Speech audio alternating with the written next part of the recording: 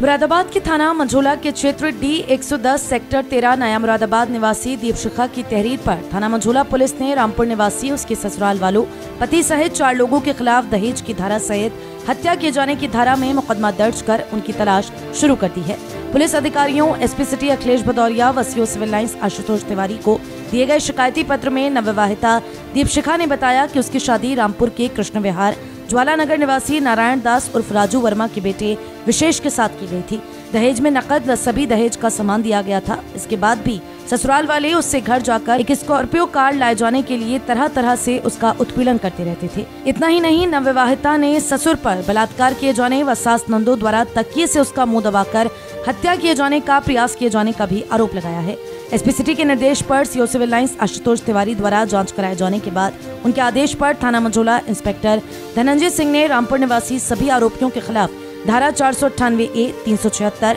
पाँच सौ ग्यारह, तीन सौ सात, तीन सौ तेईस, पाँच सौ चार व पाँच सौ छह के तहत एफआईआर दर्ज कर उनकी तलाश शुरू कर दी है। उनके द्वारा दबिशें भी दी जा रही हैं।